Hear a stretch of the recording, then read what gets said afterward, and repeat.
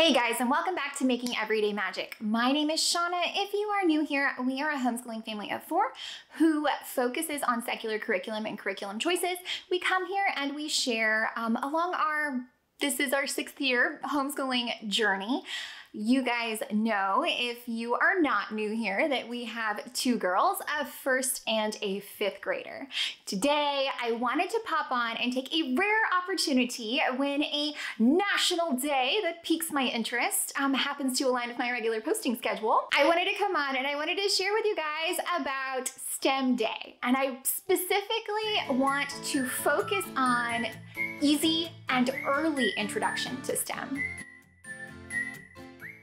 Guys, before we go any further, please scroll down, hit the big red subscribe button, turn on the bell for notifications, and give this video a thumbs up. As always, you can find us right on down to the comments or over on Instagram at Making Everyday Magic. Like I said, this is our sixth year of homeschooling.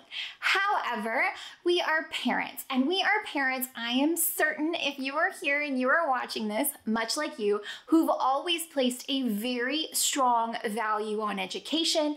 And again, if you're here, you probably are pretty like-minded like me, and you know that everything, everything can be education.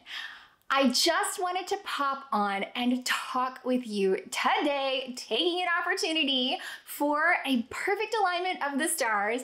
That National STEM Day happens to align with my regular posting schedule, which I'm so excited about. So, is this what I had intended to share today? No, but are we sharing it today? Yes.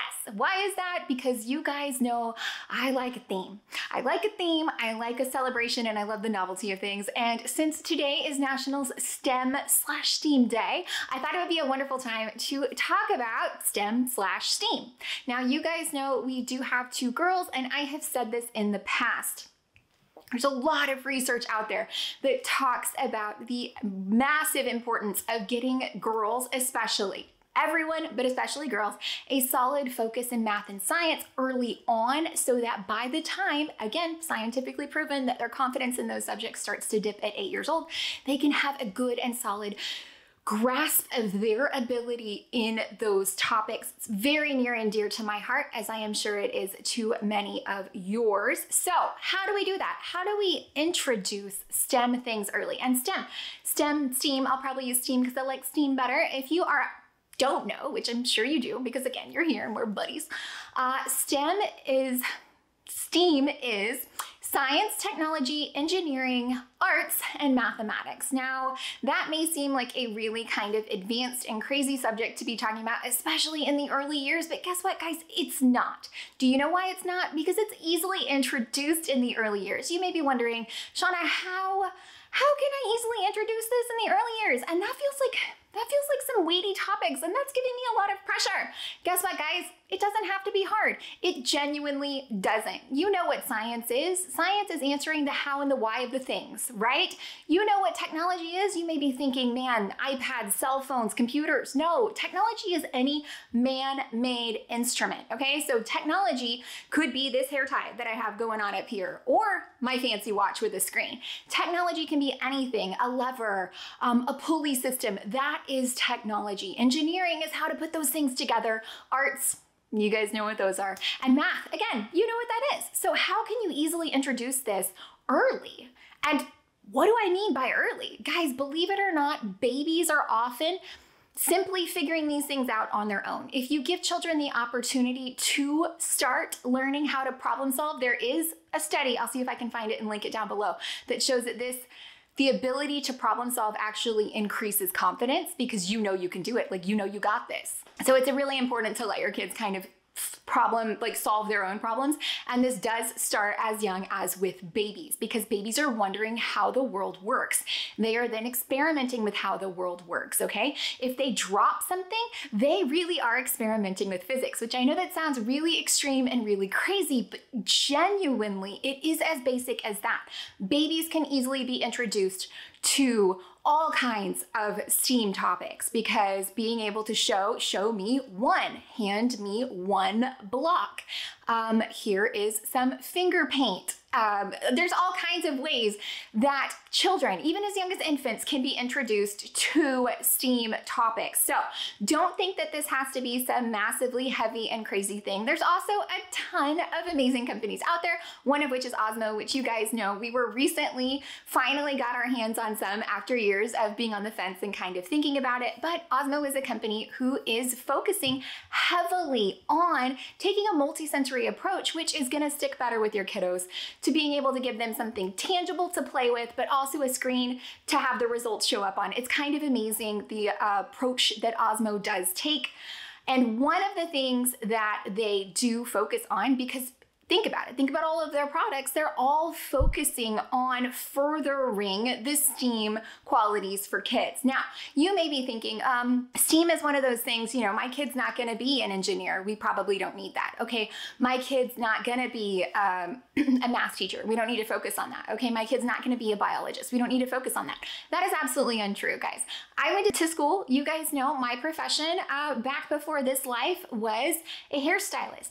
The amount of chemistry chemistry that went into being a hairstylist is kind of mind boggling and staggering. So, had I not had exposure to the science of that, had I not had exposure to the art of that, simply knowing how to counteract, you know, warm gold tones by using purple. I mean, those are things that you wouldn't think would be you know, heavy in esteem STEAM focus, but genuinely are. So don't limit yourself. Don't limit your kids. Be sure to focus on that early introduction.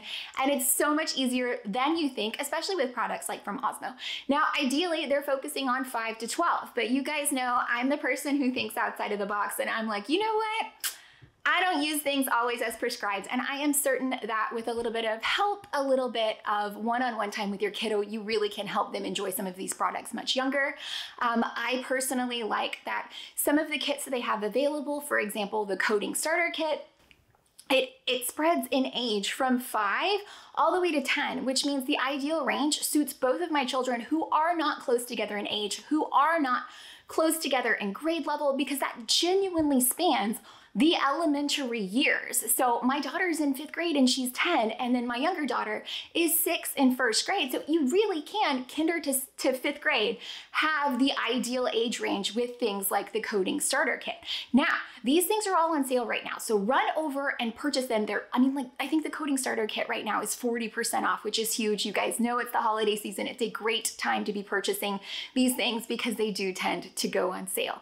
So something else that I did love about the coding starter kit is that while it is one box of goodies, it is actually three games because it goes like beginner, intermediate, and advanced, meaning that your kids at any stage they're at can really get a something out of this and then have some room to grow, which I personally think is awesome and amazing. So huge shout out to the people over at Osmo.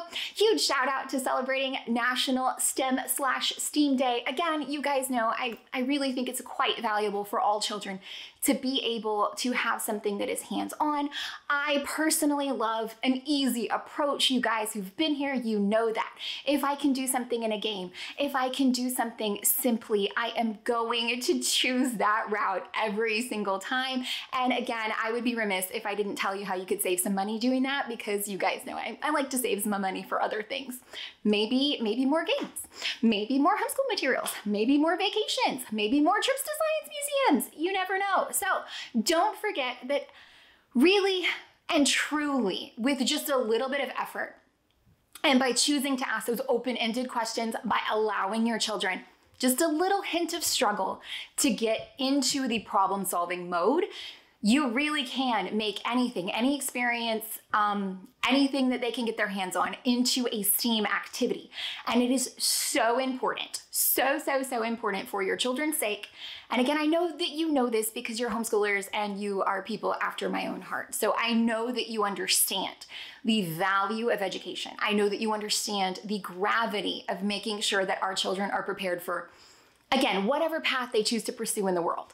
It doesn't matter what it is, one of the STEAM topics will come into play for them in later life. So by introducing it early, in a fun manner, effectively, you can set them up for success in whichever path your children choose. Again, you wouldn't think it, but chemistry was huge in my cosmetology career.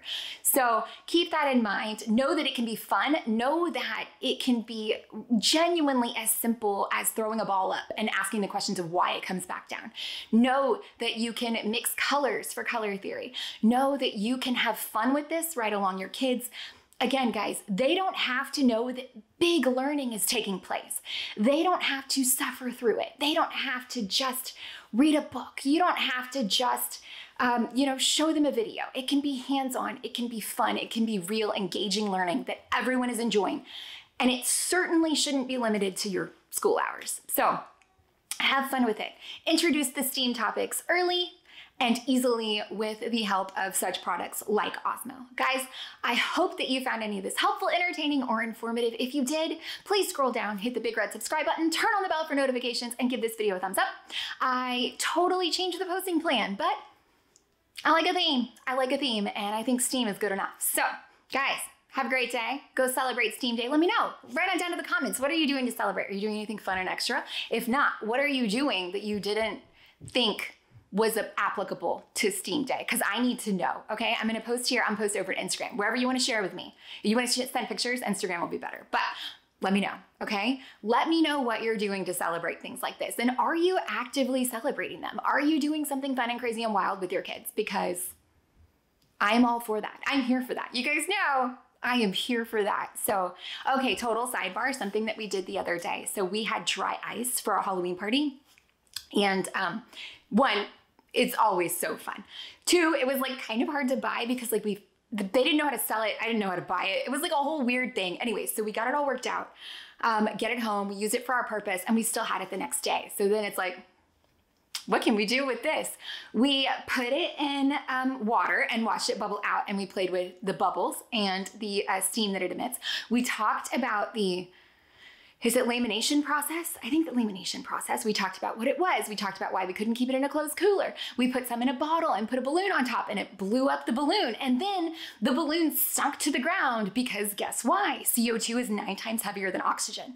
We got to play with this. It was so fun. We had such a great day. We put it in a closed water bottle and waited for it to explode, but I think we'd waited too long. We didn't have the water warm enough. It was like a whole thing. It didn't explode, but I do have a side by side. I'm gonna insert some of this because it was so amazing and fun. Um, we have a side by side of the bottle. Like the bottle went from like being a water bottle shape to like being like a light bulb. It was crazy. Um, moral of this story, okay?